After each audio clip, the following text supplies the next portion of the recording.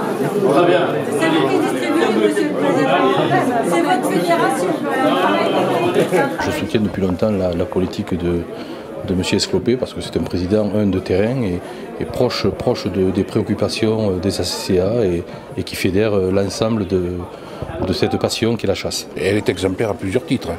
Euh, c'est une fédération d'abord qui est ouverte sur, euh, sur tout le monde, le monde rural en général. On est en train de mettre en place euh, dans les Pyrénées-Orientales euh, une valorisation de la venaison. Et donc c'est un produit sud de France, c'est un produit euh, qui est diététique puisque c'est du, du gibier.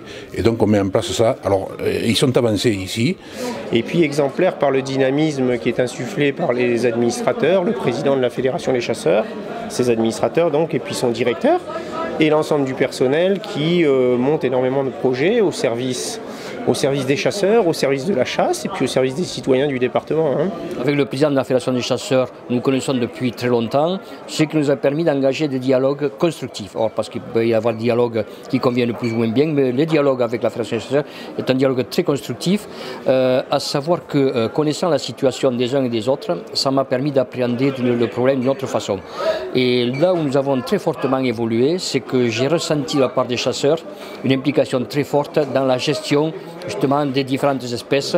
Il suffit de venir sur le terrain, de, croiser les chasseurs, euh, de partager leur passion pour vérifier que finalement leur rôle est essentiel. On le voit aujourd'hui euh, euh, tous les jours dans, nos zones rurales. Je pense qu'il y a une confiance mutuelle maintenant entre le monde de la chasse et l'ONF, donc une meilleure compréhension des enjeux forestiers de la part des, chasseurs, une meilleure compréhension de- des enjeux en matière synergétique de la part de l'ONF.